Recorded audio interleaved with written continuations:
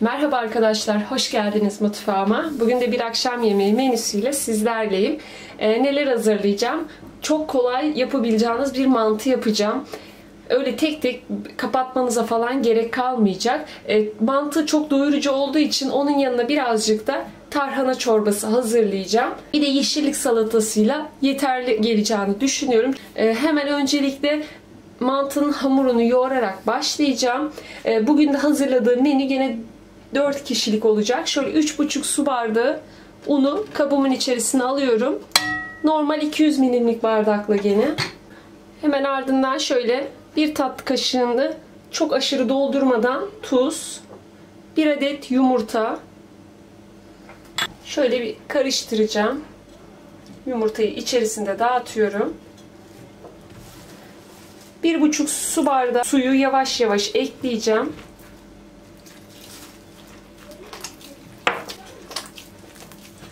Birden sakın suyunuzu eklemeyin. Yavaşça. Yumuşak bir hamur olmayacak. Orta sertlikte.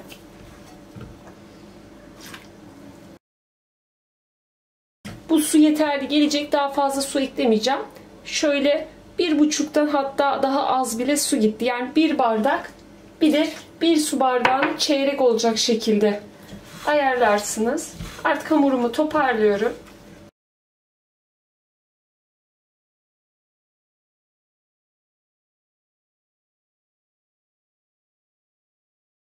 Hamuru 2-3 dakika boyunca yoğurdum. Ee, 3,5 su bardağı unu yoğururken kullanmıştım. Yarım bardak da e, tezgahımın üzerinde toparlarken kullandım. Çok yumuşak değil, orta sertlikte bir hamur elde ettim. Yeterli artık.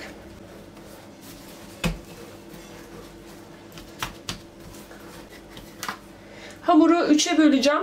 E, çünkü tezgah alanım küçük olduğu için çok fazla büyük açamayacağım.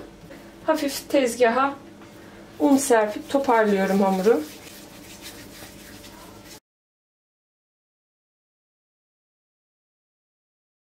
Artık hamurlar kenarda birazcık dinlensin. Üzerine şöyle bir kağıt havlu seriyorum.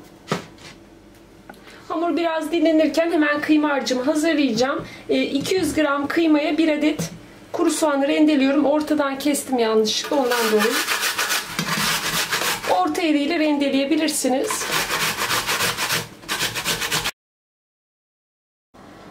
Baharatları da ekliyorum. Tuz, karabiber, birazcık da pul biber. Yoğuruyorum şöyle.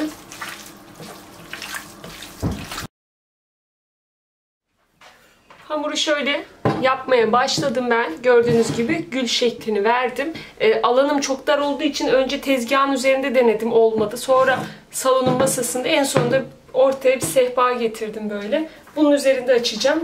Sonuncusunu da sizlere yapıp göstereceğim. Şöyle sehpamın üzerine un serpiyorum. Üzerine de aynı şekilde bolca. Merdane ile birazcık hamuru büyüteceğim. Ondan sonra oklava ile devam edeceğim.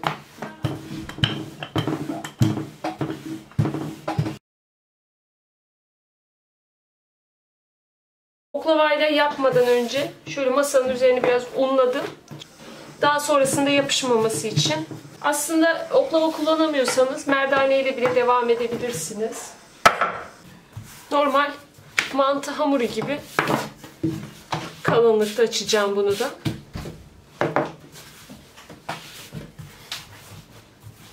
Bu arada e, gördüğünüz gibi yaktım. Maalesef düdüklü tencereye yapıştırdım.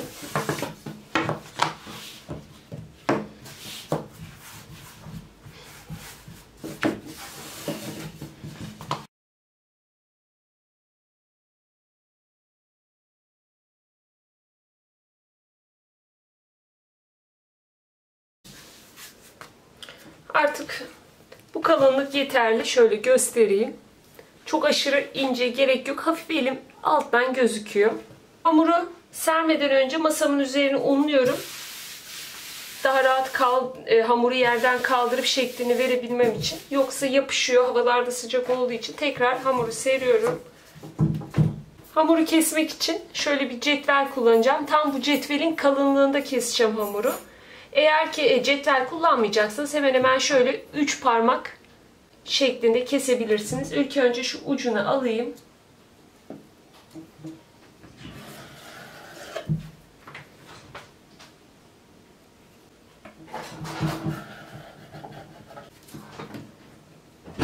Bu taraftan kessem daha iyi olacak çünkü tersime geldi burası.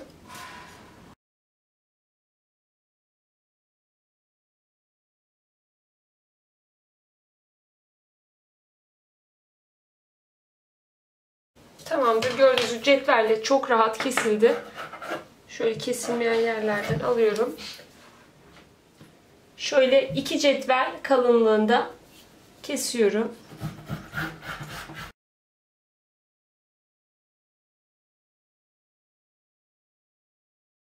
Yanıma birazcık kıymadan aldım. Kıyma harcından.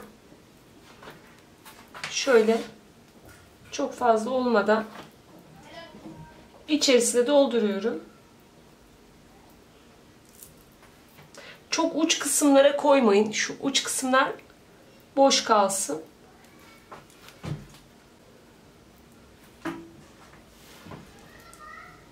Hepsini önce dolduracağım böyle.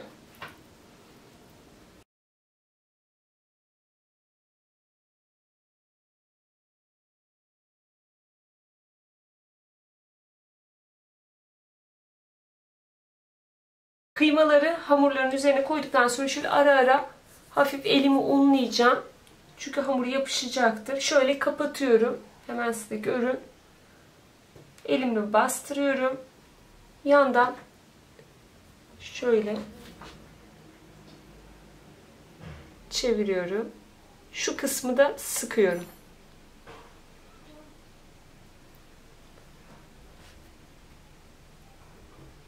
Şöyle kapatıyorum. Çok bastırmanıza gerek yok. Çok sıkı da sarmayın. Şöyle. Hem böyle daha kolay oluyor hem de görüntü olarak da çok şık duruyor.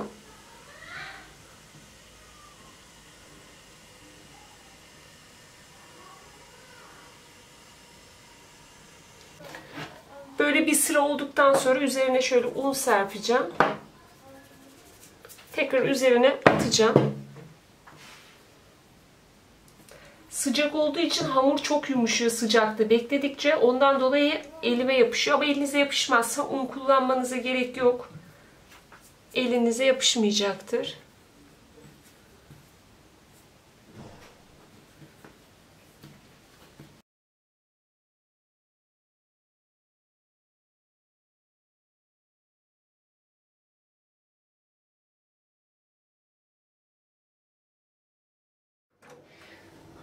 Hemen uygun bir tencereye ocağıma koyuyorum. Çorbayı ve salatayı yapacağım önce. E, mantıyı o arada dolaba kaldırdım.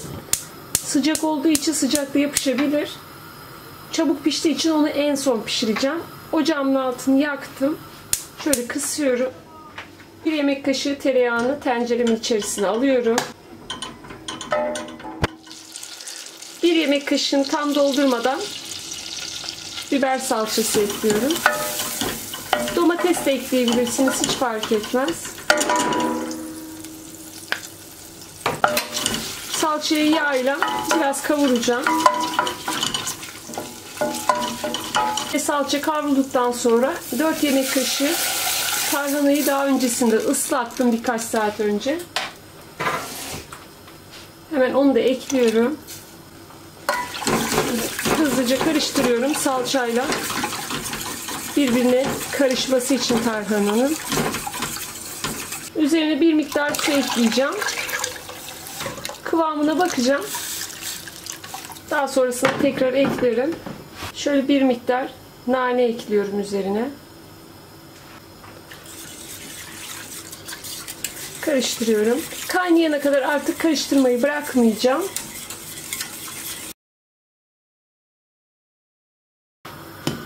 Çorba kaynamaya başladı. Koyuluğunu tamamen kendi damak tadınıza göre yapabilirsiniz. Hemen şunu da belirteyim. Her tarhana aynı oranda su gitmez biliyorsunuz. Benim 4 yemek kaşığı tarhana tam yeterli geldi. Ondan dolayı tarhananıza göre ayarlarsınız. Suyunu benim için iyi çünkü birazcık koyu seviyoruz biz.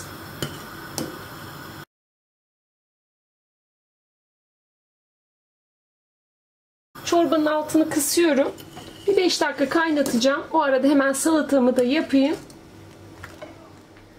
Bugün çok fazla malzemeyle salata yapmayacağım. Şöyle kolay bir salata hazırlayacağım. Bir tane salatalık kullanacağım.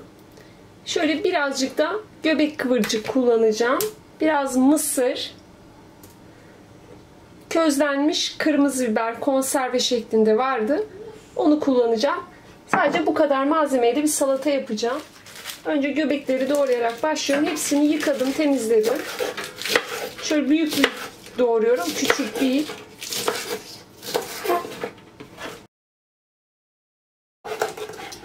Salatalığı da şöyle ortadan ikiye kesiyorum.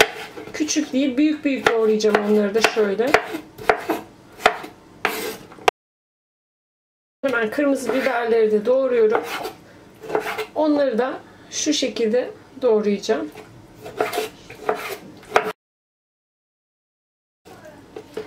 Kadar basit bir salata yaptım. Hemen üzerine mısırı ekliyorum. Birazcık zeytinyağı gezdireceğim. Şöyle yarım da limonun suyunu sıkıyorum. Şöyle kaşığın ucuyla tuz ekleyeceğim. Salatam da hazır artık. Hemen mantıyı pişirmeye geçiyorum. Şimdi aldım hemen kettle'da kaynattığım suyu tencereme boşaltıyorum. Şöyle bir miktar tuz ekliyorum. Hemen altında yakıyorum. Birazcık da şöyle 2 yemek kaşığı kadar da sıvı yağ ekliyorum. Böyle tam anlamıyla fokur fokur kaynayana kadar sakın mantılarınızı atmayın. Şimdi tek tek atıyorum.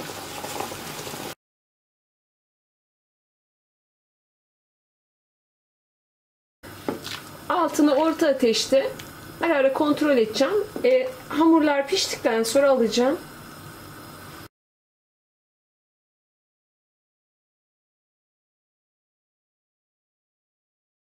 Mantı artık pişti. Gördüğünüz gibi yeterli. Altını kapatıyorum. Şöyle üzerine bir miktar soğuk su ekliyorum. Şöyle servis tabağına alıyorum. Biraz hafif sulu alıyorum. Çok aşırı derecede süzmüyorum.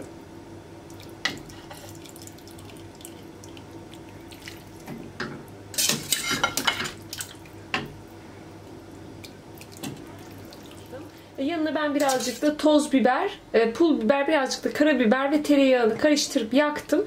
Biraz da sarımsaklı yoğurt hazırladım. Hemen e, mantıyı servis tabağına alayım. Tabaktaki son halini sizler de görün.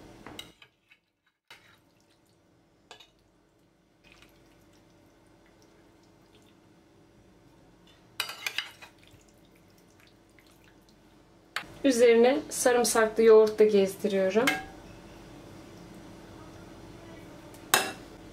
Birazcık da tereyağı. Umarım siz de dener ve beğenirsiniz. Videolarımın altındaki malzeme listesine göz atmayı unutmayın. Eğer kanalıma abone değilseniz bu videodan sonra abone olabilirsiniz. Instagram'da da Seval Mutfak'ta olarak beni takibe alabilirsiniz. Bir dahaki videolarda görüşmek üzere. Hoşçakalın.